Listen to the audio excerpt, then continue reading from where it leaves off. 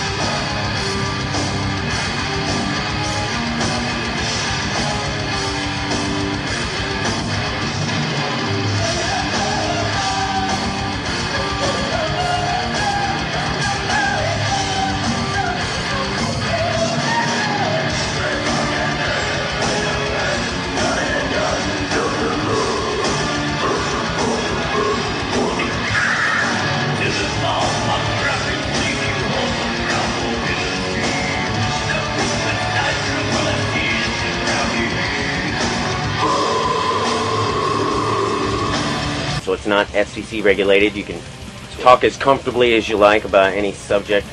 Um, and you talk uh, about football? you talk about football, or that would be soccer for you, yeah? No, NFL. No, real football. Uh, are you the uh, Redskins fan? Right on. Uh, you roll, you rolling? Well, you didn't answer the question. Do you do it, NFL? No, it's for the. No, this is for extreme sports like skateboarding, BMX. All right. No, it's for a TV show. Well, this this actually is being filmed for a television show, and it's kind of a side project that we're doing. We do the radio show right. once a week, and then we got this TV show that he's been building up. So, all right, we're back. It's Riot Radio TV. We finally scored Dave, Cradle of Filth. Uh, it took a while, and I know the guys are getting ready to start off their, uh, well, actually already on the Headbangers Ball Tour. How's that going so far? Uh, pretty good. We've been there nearly, what, uh, over a week now. Uh, the bands are great. Just came from Orlando, Yeah. And yeah, you it's, know, it's turned into a bit of a blur right now. it's a blur, right? Yes. Right. Well, you guys had another tour just before that, didn't you? Uh, that was South America. South America. Yeah? Yeah. So down in South America, they go wild, huh? Well, you know, you get fans camping outside the hotel, uh, lots of security, riot police, you know, tear gas while you're playing. Riot police. It's, it's totally different. What about uh, some of the fans? I know I saw some of the kids that are waiting out front here, kind of.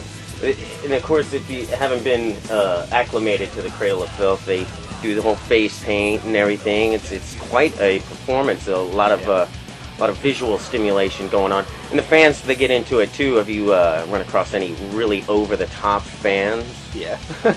Where where would where would they? Uh, Uh, the, the, the, the pop up all, all over the place. Yeah. But for one example, like uh, we got off the bus and this girl ran over and handcuffed herself to mine, the keyboard player. For you that was it. She was tied to. swallowed the key. Yeah, I, I boyfriend. Yeah. She was uh, Questionably a bit underage, but now there's the question that you guys have a lot of younger fans. I know at some of your venues they do have an age limit, and that uh, that kind of does a lot to, to weed out a lot of your fans. But uh, the kids seem to be really receptive. yeah. And it's, it's an all ages thing, I think. It kind of spans, you know. yeah, I saw some moms, some milfs out there in line. I signed some older breasts yesterday. Very nice, very Well, nice. Um, you do as you, you know, requested. Yeah. So uh, now, where where do you guys get the biggest following? Of course, at home in England. Um, over here in America, you got a huge following. Yeah. But wh- what are your favorite fans? Uh, most receptive audiences? I like America because they speak English. I mean, when you go over to like Europe, a lot of kids come over and they try and communicate with us a bit of a barrier. You know? Mhm. Not that they're not into at all, but you know, it's e- America's easier Mhm. for us. And I like America. It's the consumerist thing, and obviously I live in football, so it's like everything's here for me. So the Redskins, all about the skins, huh? Not really. No, not doing very well, are they? No, not this year. Um, also, I to understand that you uh, collect a lot of Star Wars characters. Yeah.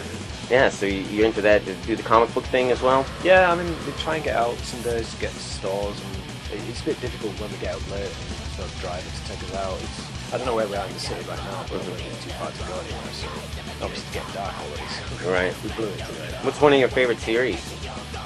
What comic series? Mhm. Um, I like Danzig's stuff that he's doing on the Bright label. Mhm. It's more extreme. Mm-hmm. Um, and I like Bernie Wrightson's art. teenager, the Frankenstein. But Are you- Are you an artist yourself? I used to be. Yeah. I mean, my talent is to play, but I'm trying to be a musician that wants to be a writer. Right. So I'm be confused. What uh what other type of sports are you into? Um, uh, none really, just football. just watching the football. You Yeah, You toss the ball around yourself. Yeah, we're gonna go and buy one. Right on. The guys from Princeton want to go around. Cool. It's good for a bit of exercise.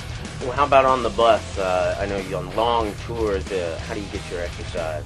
You know. You don't. Well, I can't tell you. you can imagine. Oh, is that on a sexual nature? Yeah. Oh yeah. I mean, the bus. I mean, the, the, bed's like the size of a coffin, so not much. is gonna yeah, you're not going to move around a whole lot. um, tell us about uh, how the uh, Headbangers Ball tour has been treating you, and then of course you're uh, on the new album, uh, Nymphetamine. I had to practice that one a few times. Yeah.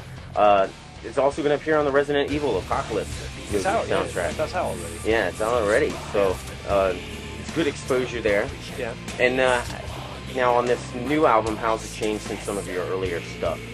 It kind of followed on from an idea that we had from the record before, where we wanted to try and simplify things a little bit. Um, and the album before we got the orchestra and we lost the guitarist, so we kind of lost the plot. But this time we got a new guitarist in James and decided to lay off the keyboards a little bit more, and it, it, it became a lot clearer, like simplified. hmm So it's a bit easier to take. I got, a, I got a question about that, that new video. I've been watching the hell out of it. Okay. But, you know, I edited it and I got it in a bunch of episodes. The, the female singer in the beginning of Yeah. like, She bands Candy. She's like a guest. Yeah, Liv Kristine. The girl with the blonde hair is uh, called Liv Kristine. She's from a band called Leaves' Eyes. They just got signed to Roadrunner as well. Um, and she's a very, I mean, it was a, we did a demo of some singers and she was the best one and we just sort of invited to do it. Um, and then she decided to come over to the video, which is really cool. Yeah. But she didn't want to tour with us. She's got a baby and she's married and stuff. So we're using Sarah, you know, the, the with blonde hair you might have seen kicking around mm Sarah, Sarah does her version of it. It's exactly the same.